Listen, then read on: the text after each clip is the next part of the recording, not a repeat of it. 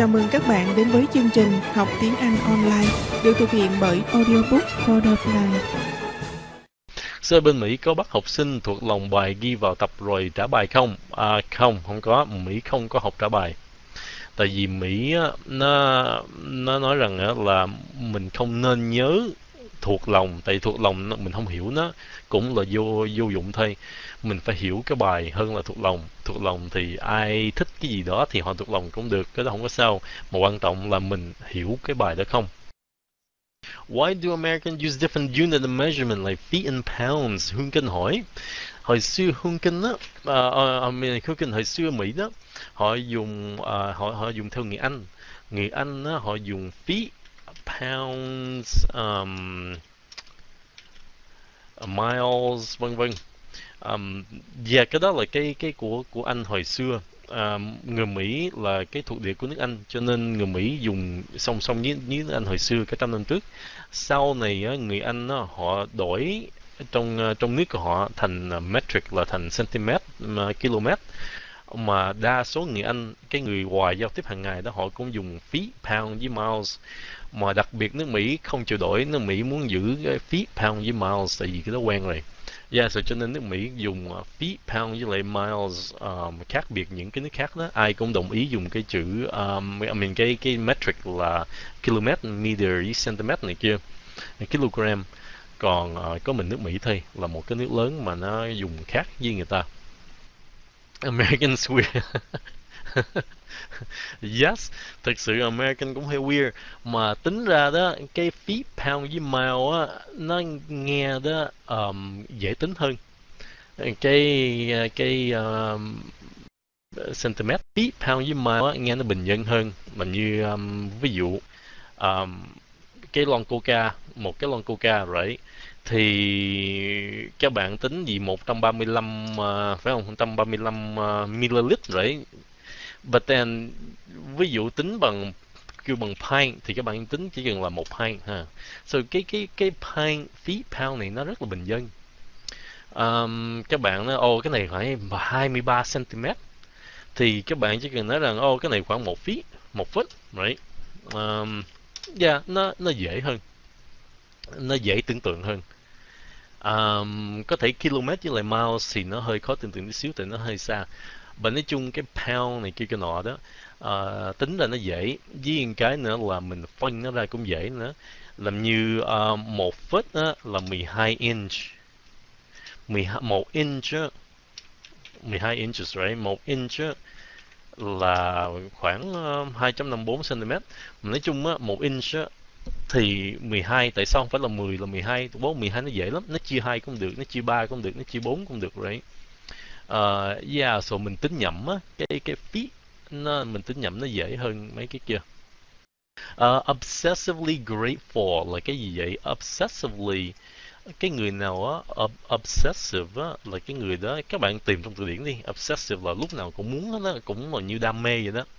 Grateful là cái sự mà cảm ơn so cái người mà cảm ơn cái kiểu mà quá đáng á. Uh, dạ cái đó cái chữ đó hai hai cái đó nó ghép lại thôi hả? chứ không có gì đặc biệt hết á. Xin nói uh, à, chào giống PewDiePie được không? What, what? ok PewDiePie chào sao? Cái gì đó this is PewDiePie is it Ronaldo không PewDiePie nói gì this is PewDiePie Peter pain in the ass hả? No, mình không có biết cái đó, cái viết tắt đó không cần. Yes. I have been experienced. Tôi đã trải qua. Uh, no. No, no, no, no, no, no, no. I experience cái gì đó. Ví dụ I experience heartbreak là tan nát trái tim ví dụ đi. Ừ, okay. Uh, ờ, mình mình ít thấy ai dùng pizza này lắm.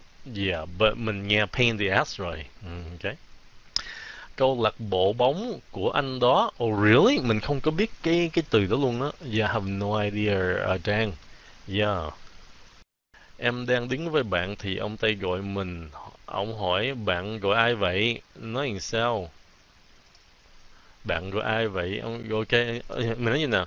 Are you are you calling me? Are you calling me? Hoặc là chỉ cần nói là me. Vậy đó. Me? Hoặc là who? Who me? Like that. Hay là mình nói là excuse me? Cái cái lịch sử nhất là excuse me. Mình không chắc ông gọi mình mà mình hỏi ông đang gọi ai vậy. Mm, nói là oh excuse me. Excuse me. Um, who are you calling? Who are you calling? Vậy yeah vậy thôi đọc adult lại adulthood. Adult với lại adulthood. Khi nào đồng do you nào dùng are you á do you á thường thường cho cái cái verb động từ right? Do you like me? Do you eat rice? Okay. Um, are you thường khi là diễn tả? Okay so thường khi cái adjective. Are you handsome? Are you I know happy? Okay. Đa số là vậy. So do thường khi cho động từ. Are thường khi hoặc là is um, cho tính từ. Xin biết tên uh, kênh YouTube How to Basic Yeah mình biết. Cái kênh đó vui lắm. Thỉnh thoảng mình buồn mình coi cái kênh nó hoài luôn. Cái người đó cái cái não của em bị cái gì đó.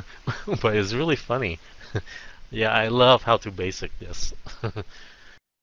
What are you talking about? Hay là what you're talking about? What are you? Cái cái câu thứ nhì đó bỏ cái câu thứ nhất đúng hơn. Ừ, cái okay, Ronaldo. Có một bạn hỏi bên Mỹ có học trả bài không? À không.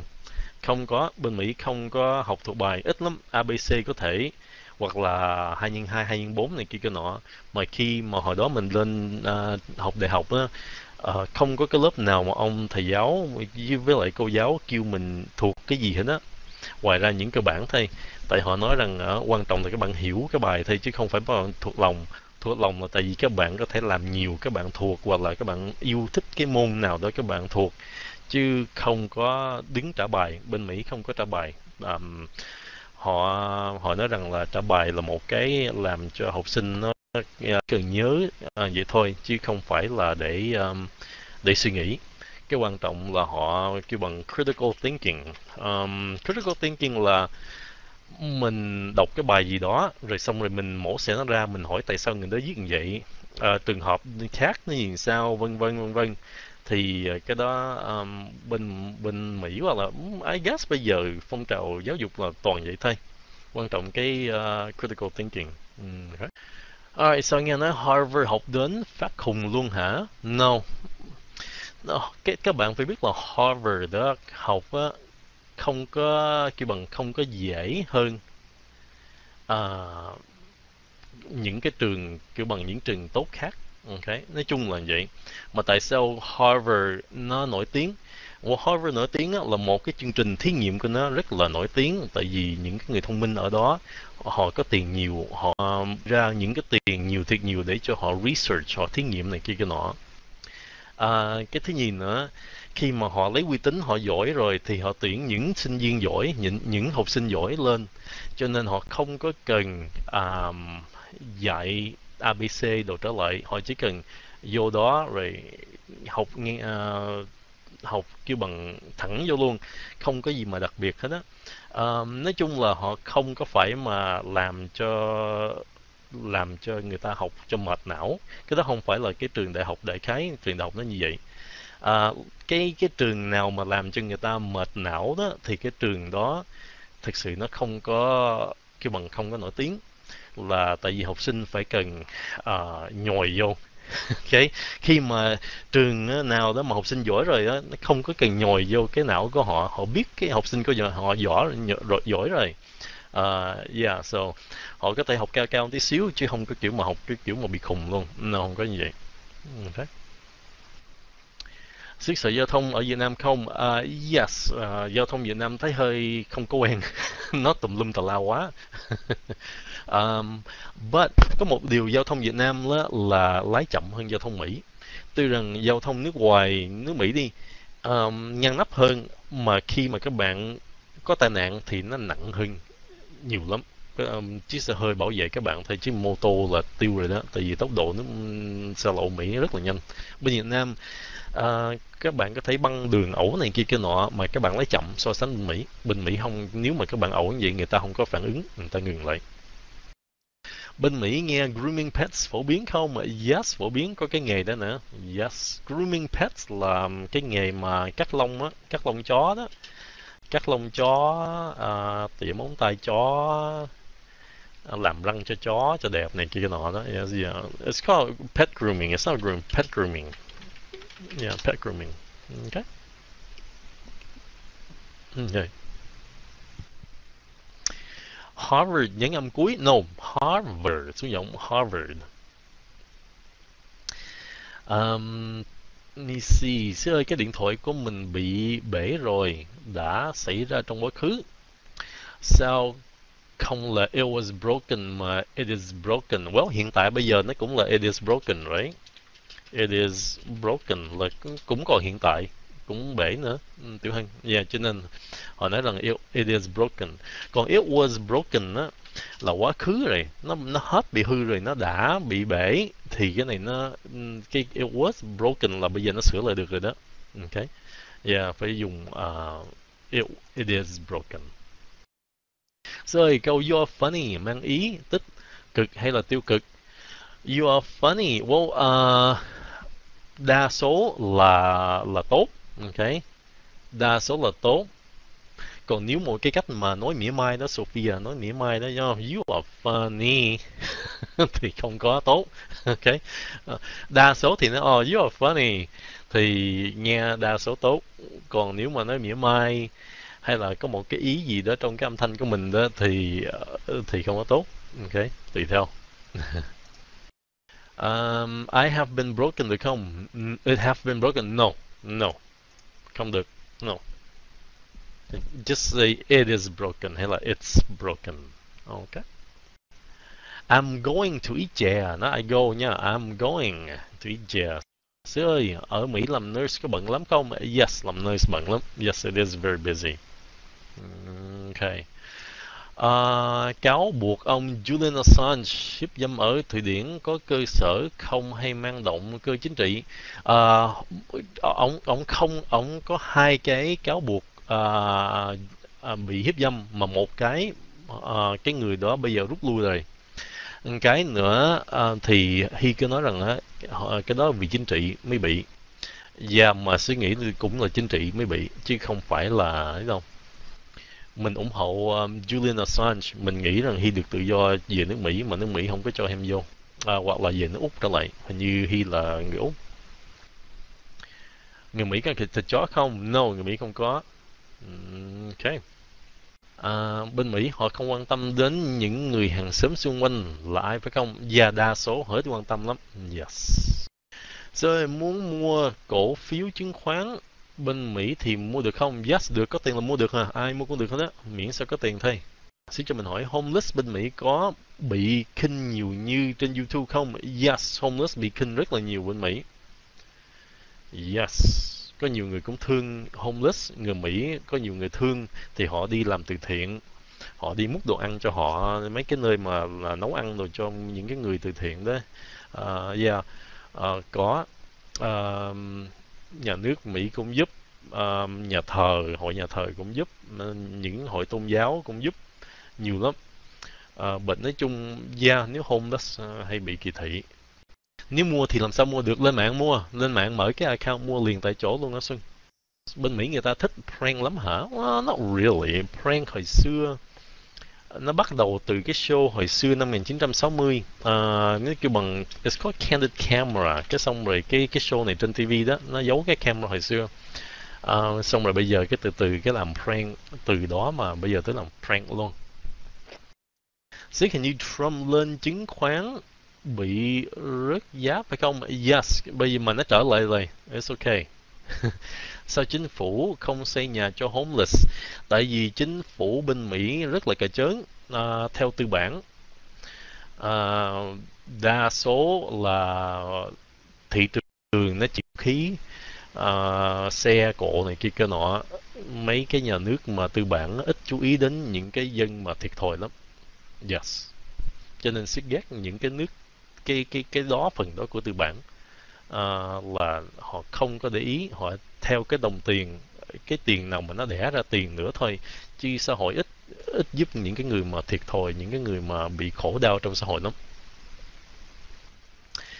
Alright, lớp tiếng Anh thấy các bạn hỏi toàn tiếng Việt không vậy? Chưa, mình mới vô hồi đây nè. Cho mình khoảng 15 phút nữa um, có từ này không? Sẽ hình như là much uh, ờ, much you doing? No, what you doing? Yeah, let's go. What what you what you doing? Là what are you doing? Okay, cái này tiếng lóng, đừng có viết ra, nói được, đừng có viết ra. Tôi gần như quên mất cái đó nó làm sao. I almost forgot. I almost forgot. Ừ, okay. Xin cho mình hỏi nếu mua cổ phiếu của Mỹ có được gọi là đầu tư không? Uh, yes, nó có cái bằng đầu tư. Yes. Ủa đăng ký mở tài khoản chứng khoán bên Mỹ cũng được hả? Uh, em nghe nói phải qua Mỹ làm tài khoản mà xét. Ồ, oh, từ bên Việt Nam mua đó hả?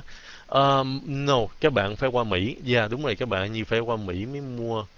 Hoặc là các bạn phải mua bên Việt Nam mà mua tài khoản Mỹ thì ok. Mà phải qua từ cái luật bên Việt Nam như sao? Còn bên Mỹ, ờ, nãy giờ xuất hiện tưởng là hỏi bên Mỹ nè. Bên Mỹ thì mua giờ nào cũng được đó. Không biết bên Việt Nam như sao à? Yeah. Dạ.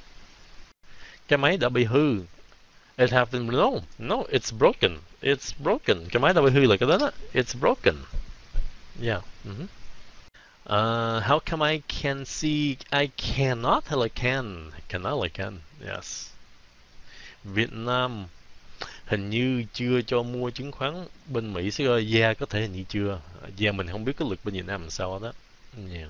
mà nếu Việt Nam cho mua thì Mỹ cho bán vậy hả yeah um, bạn cài dây mũ bảo hiểm lại đi uh, ok như vậy nè ok um, cài dây mũ ok you need to secure your helmet ok secure secure là làm an toàn đó là dài dây đó khi nào mình dùng I got it với là I get it Um, đa số là I got it. Okay. Uh, I get it là hiện tại. Well, nếu mình nói là I got it cái kiểu mà tôi hiểu á, mình hiểu đó, thì đa số các bạn nên dùng I got it. Mình đã hiểu rồi. ok Uh, thỉnh thoảng mình có nghe mình nói là oh I get it, vậy đó. Thì nó hiện tại hơn vậy thôi. Uh, chứ hai cái này đa số là nếu các bạn không có sure cái nào thì các bạn dùng I got it. ok Mà cái nào cũng được hết á, nói chung là vậy. Câu này dịch làm sao cho đúng? Tôi thích màu xanh của biển, màu trắng của mây, màu hồng của sự hạnh phúc. What? Okay. I like the blue of the ocean. the white of the clouds and the red of cái gì? Hạnh phúc hả? hạnh phúc là cái gì? Happiness hả? And the red of happiness? I don't know. I mean, người đồng ý là blue là ocean rồi đó, white là clouds mà red không có biết happiness không nữa. Ok. Cái chữ cái happiness uh, Việt Nam mình có thể hồng cho hạnh phúc, but uh, tiếng Anh cái cái màu hồng với hạnh phúc không có đi với nhau. Hồng oh pink á hả? Oh, ok. Pink. Yeah, I I don't know bún bò Huế nó là xem phim Hàn Quốc nhiều quá đúng rồi đấy cái câu đó là, là chúa xem phim Hàn Quốc luôn á ông nào sến vậy nè cái ông nào hồi nãy ông người hỏi là ông nào I think I think cô nào okay is Trang Trang Esther hỏi okay. Ăn cơm tàu ở nhà Tây lấy vợ Việt chứ không phải là vợ Nhật ok vợ Việt. Ok oh god. Mỹ không có cái câu đó nghe gọn Mỹ không có ok. Tiếng tiếng Việt thực sự mình tiếng Anh không có cái đó. Um, ông Đỗ Nam Trung làm tổng thống rồi ông Đỗ Nam Trung đậu hồn. Ông ta có làm gì ảnh hưởng tới Trung Quốc không? Um, Trung Quốc khoái ông Trump lắm tại vì ông Trump ông rút ra TPP rồi. Cho nên Trung Quốc thấy là nước Việt Nam uh, với những cái nước chung quanh nó không có bao giờ Trung Quốc nữa. Trung, Trung Quốc quan hô. Tại Việt Nam mới tuyên bố là Việt Nam bỏ TPP này tại vì ông Trump ông bỏ TPP xích bực ghê luôn á. And then uh, Trung Quốc thích ông Trump một cái điều là ông Trump miễn sao lợi cho nước Mỹ thôi chứ ông Trump không có bạn bè vòng bên thế giới nữa. Cho nên uh, Trung Quốc có thể được tự do để uh, ở cái biển Đông nhiều hơn. Yeah. I don't know. I mean ông Trump chắc có thể là là ông tổng thống giỏi nhất của nước Mỹ. We'll see. Có câu here you are. There we go. Cách dùng sao? There we go nè đây nè là được rồi đó. Mình làm cái chuyện gì đó cái xong mình mình mình mở cái máy gì lên cái nó bực lên. Nhiều khi nó nó bị hư như mình đề xe. Cái xong rồi cái uh, xe nó không có work. Cái xong cái mình ráng đề đề một hồi cái nó mở cái máy được. Cái mình oh there we go được nè. Vậy đó. Um, here you are here you are nó chính xác hơn là oh bạn đây nè hả? Thường thường đó là có thể là here you here you go here you go here you go là mình đưa cái gì cho người ta nó here you go đây nè yeah là như mình đưa chìa khóa cho người nào đó here you go vậy đó yeah Uh, me see, yeah, there we go. Thực sự không có biết dịch ra bằng tiếng Việt có nào nó tương đương với tiếng Việt không đó. Yeah, not sure about that one. Yeah. Ngoài ra vậy thấy không? Thrill là hào hứng đó. À, uh, là Potter. Mình see happiness đọc là happiness. Ness chứ không phải là ness nha. Ness. So INS. Happiness. Yeah, đừng có ness. Ness. Bên Mỹ có món tofu không? Yes, bên Mỹ tofu nhiều hơn bên Việt Nam nữa. Tại vì bên Mỹ có Nhật nè, Hàn Quốc nè, có Chinese nè, có Việt Nam nè. Ok. So bên Mỹ có tofu là đậu hũ đó, nhiều hơn nữa.